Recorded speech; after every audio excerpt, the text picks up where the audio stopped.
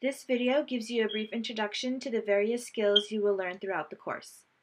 The Five Canons of Rhetoric is a system and guide to crafting powerful speeches to make us more effective speakers. The five canons are invention, organization, style, understanding, and delivery. Let's go through the first canon. Invention is the art of finding information. In the canon of invention, the skills you will engage in are determining the goal of your presentation, determining the issues related to your topic, determining how you will use ethos, pathos, and logos in your speech, predicting what your audience wants and needs to know, and conducting research to supplement your personal knowledge.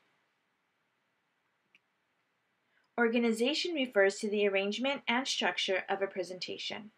In the canon of organization, the skills you will engage in are introduction preparation, organizing main points and supporting material for the body of your presentation, and developing a conclusion that summarizes the presentation and ends with impact.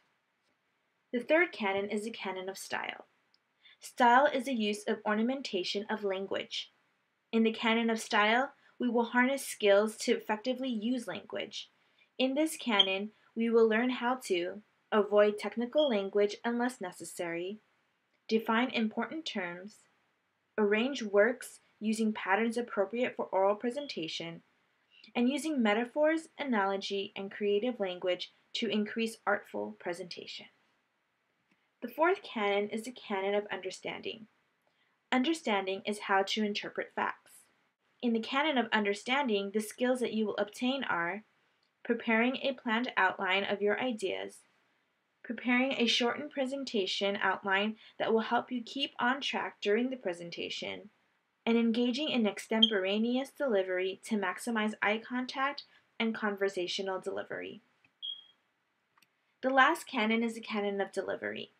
Delivery includes the verbal and nonverbal techniques used to present the message. In the canon, you will learn to engage in skills which will help you to effectively deliver your speech. The skills which you will learn are how to avoid reading your presentation, maintain consistent eye contact, and to be natural with your use of gestures, facial expressions, and movements. As you read through the chapters and go through the course, remember that everything you do fits into one of these canons to help you create a powerful speech and become an effective speaker.